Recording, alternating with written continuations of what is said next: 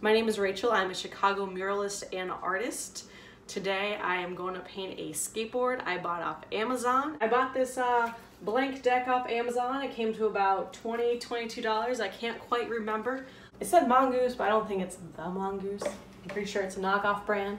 Can't tell you about skates. I've never skated on before. I'm not going to try. It's going to be for display only. If you're trying to skate on it, it's uh, at your own risk because I can't verify anything about that see how it goes.